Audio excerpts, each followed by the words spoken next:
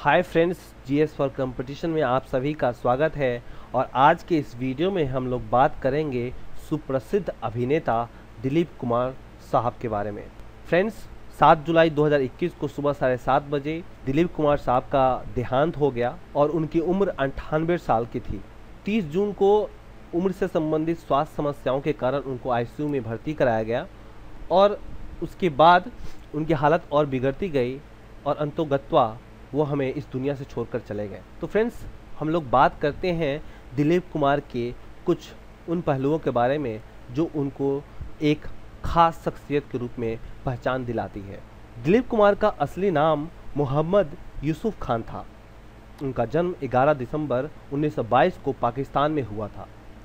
उन्हें हिंदी सिनेमा में the first Khan के नाम से जाना जाता है और हिंदी सिनेमा में मेथड एक्टिंग का क्रेडिट उन्हें ही जाता है। हिंदी सिनेमा के जितने भी बेहतरीन एक्टर हैं, उनको एडमायर करते हैं, उनके अभिनय के कायल हैं। दिलीप कुमार को ट्रेजिडी किंग के नाम से भी जाना जाता है। उनके 12 भाई बहन थे और वो तीसरे नंबर के थे।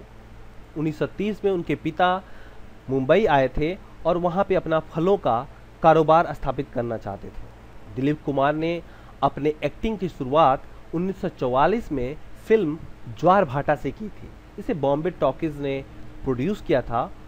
दिलीप कुमार साहब ने पाँच दशक तक बॉलीवुड में काम किया और अपने फिल्मी कैरियर में उन्होंने पैंसठ से ज़्यादा फ़िल्मों में काम किया। कुछ विशेष उनकी फ़िल्में हैं, जिसमें अंदाज, आन, दाग, देवदास, आज़ाद, मुगले आज़म, गंगा जमुना, राम और श्याम, ये कुछ प्रमुख फ़िल्में हैं।